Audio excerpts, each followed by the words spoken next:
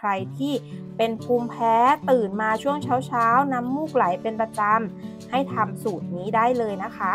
สวัสดีค่ะ วันนี้พี่ขวดมีสูตรน้ำสมุนไพรสำหรับใครที่มีปัญหาภูมิแพ้ไอจาม มีน้ำมูกนะคะ หรือว่าเป็นหวัดก็สามารถใช้น้ำสมุนไพรสูตรนี้ได้ทุกวันเลยค่ะ สิ่งที่ต้องเตรียมก็จะมีแค่หอมแขก หรือว่าจะเป็นหอมแดงก็ได้นะคะแล้วก็น้ำผึ้งค่ะเดี๋ยวเรามาดูกันค่ะ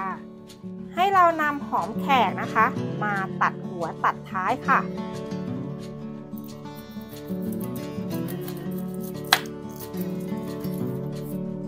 ตรงด้านท้ายนะคะ ให้เราตัดเขาแค่บางๆพอนะคะ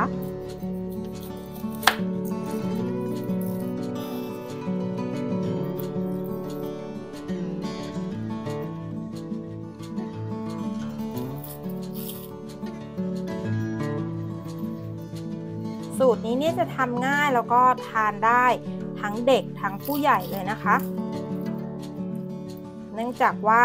หอมแขกกับหอมแดงจริง ๆ เขาก็จะคล้ายๆกันนะคะ แต่ว่าที่วันนี้พี่ขวดใช้หอมแขกก็เพราะว่าลูกเขาจะใหญ่กว่า มันจะง่ายกับการที่เราจะนำมาคว้านนั่นเองค่ะ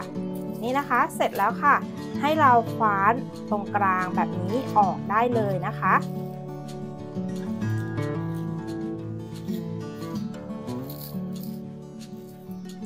คว้านเขาลงไปได้เลยค่ะ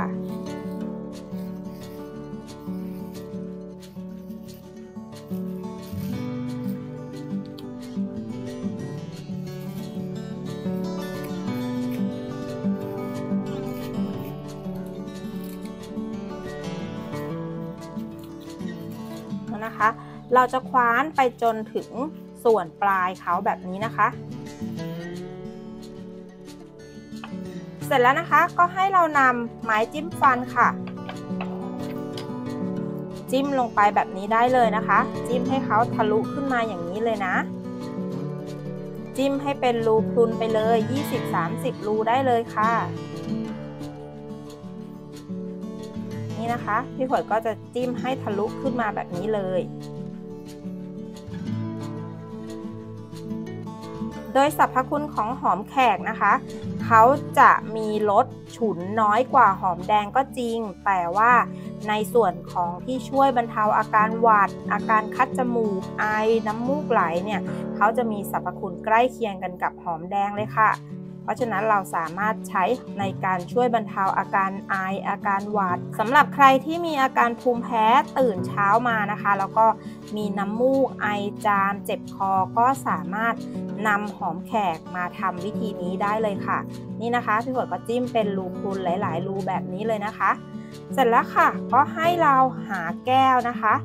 จะเป็นภาชนะแก้วหรือเป็นอะไรก็ได้นะที่สามารถวางหอมแขกลงไปแบบนี้ได้นะคะ พอได้แบบนี้แล้วนะคะ ก็ให้เรานำน้ำผึ้งมาเทใส่ลงไปในหอมแขกได้เลยค่ะ น้ำผึ้งก็เป็นยาอายุวัฒนะนะคะ มีสรรพคุณเยอะมากๆ เช่นเดียวกันนะคะ ช่วยบรรเทาอาการอักเสบต่างๆได้ เดี๋ยวเราก็จะรอจนกว่า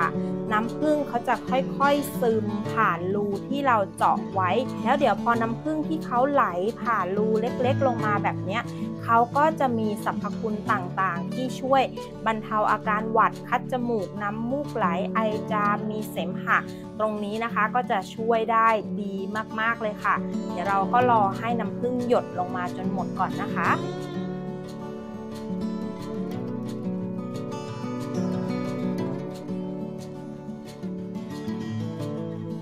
ตอนนี้นะคะเราก็รอดูจนน้ำผึ้งหยดลงมาจากลูกของหอมแขกเรียบร้อยแล้วนะคะ ก็เป็นอันใช้ได้ค่ะ และสำหรับลูกของหอมแขกตรงนี้นะคะ ถ้าหากว่าเราจะทำหลายๆ คนที่ทานด้วยกันนะคะ ก็สามารถเติมน้ำผึ้งได้